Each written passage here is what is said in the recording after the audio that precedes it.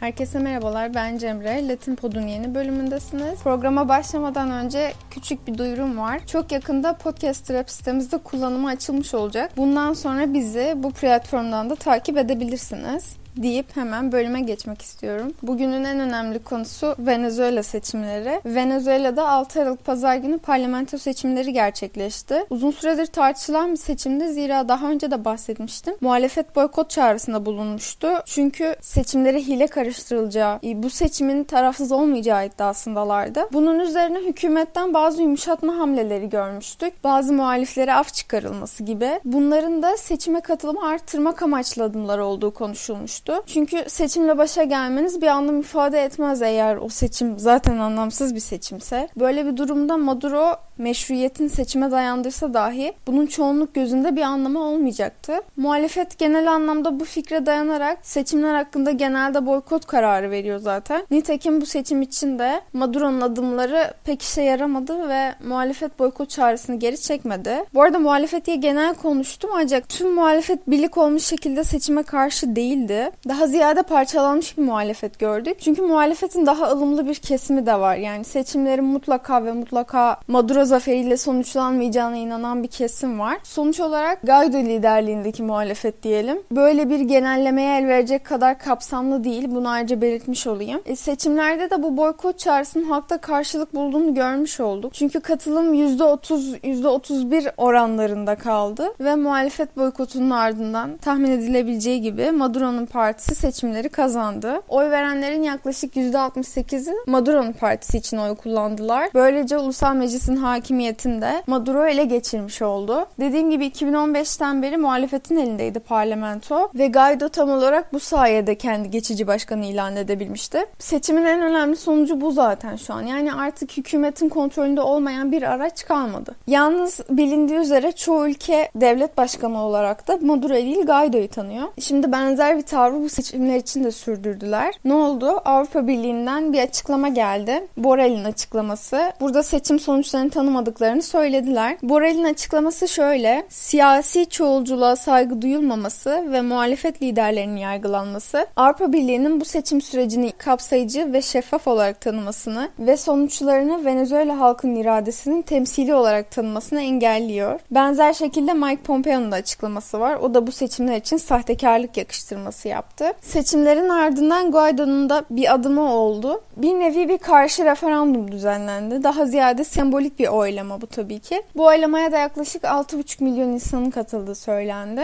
Neler soruldu bu referandumda? Öncelikle 6 Aralık'taki seçimleri reddedip reddetmedikleri, özgür ve adil seçimler için ulusal ve uluslararası mekanizmalarını destekleyip desteklemedikleri gibi sorular vardı. Yine de bu oylamanın özellikle 2019'daki o protestolarla karşılaştırıldığında aynı heyecanı yaratmadığı konuşuluyor. Muhalefetin de iddiası şu ki bu oylamanın bile yani böyle sembolik bir referandumun bile kimi bölgelerde hükümet tarafından sınırlandırıldı. Yani Venezuela'daki ilişkiler genelde hem Guaido'nun hem Maduro'nun bir şekilde meşruiyet araması şeklinde ilerliyor. Ana gerilim bu diyebiliriz. Tüm bu işte Guaido-Maduro çekişmesi meselesinde bence en can sıkıcı şey iki lidere de güvenmemek için yeterli sebep var. Bunu söylerken kastım elbette şu değil yani. Tüm Venezuelalılar işte zorunda kaldıkları için ikisinden birini destekliyor demeye çalışmıyorum ama benim düşüncem sadece şu ki sadece Venezuela için bile değil her ülkede anlamlı alternatif hareketler, alternatif liderler olmalı. Bir üçüncü yol olmalı yani. De ya demokrasinden vazgeçersin ya da bağımsızlığından ikiliğinin bir şekilde sona ermesi gerek. Bir alternatif ihtimalini böyle en baştan yok sayarsak oraya asla ulaşamayız zaten. Venezuela'nın da daha temiz bir siyaseti hak ettiğini düşünüyorum. Umarım geniş destek bulabilecek yeni bir hareket oluşturabilirler kendi içlerinde bir noktada. Bu şekilde seçim bahsini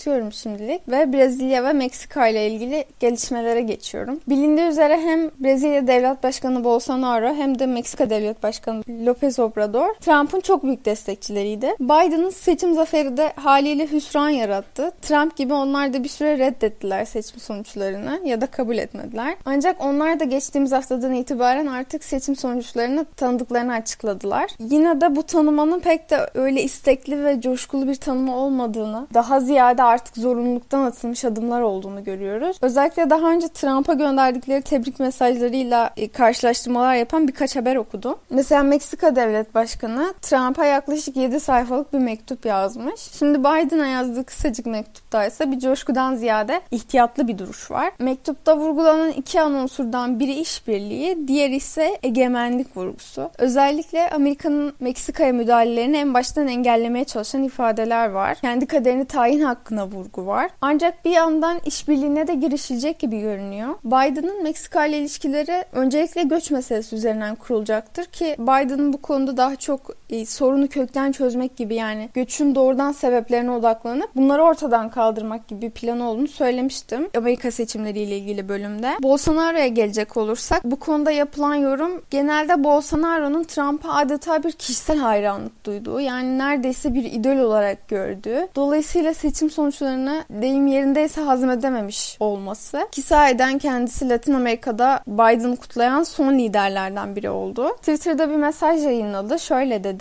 Başkan Joe Biden'a selamlar. En iyi dileklerimle ve Amerika Birleşik Devletleri'nin özgürlerin ülkesi ve cesurların vatanı olmaya devam etmesi umuduyla. Yeni hükümetle çalışmaya ve dünya çapında egemenlik, demokrasi ve özgürlüğün yanı sıra halklarımızın yararı için ekonomik, ticari entegrasyonu savunulması için Brezilya-ABD ittifakını kurmaya hazır olacağım. Tabi bu işbirliği söyleminin ne kadar gerçeğe dönüşeceğini ancak önümüzdeki günlerde göreceğiz. Son olarak Arjantin'den bir haberimiz var. Arjantin'de alt meclis kürtajı yasallaştıran tasarıyı kabul etti. Benzer yasalar daha önce de geldi meclis önüne ama senato tarafından reddedilmişti. Bu sefer mecliste tartışmalar daha başlamadan önce kürtaj karşıtları da büyük protestolar gerçekleştirdiler. Yine de yapılan oylamada tasarı 110 oya karşı 131 oyla kabul edildi. Oylamanın sonucunu beklerken bu sefer kürtaj yanlıları sokaklardaydı. Karar onlar tarafından da büyük coşkuyla karşılandı. Aralık sonunda da Senato tarafının oylanması bekleniyor. Kabul edilmesi halinde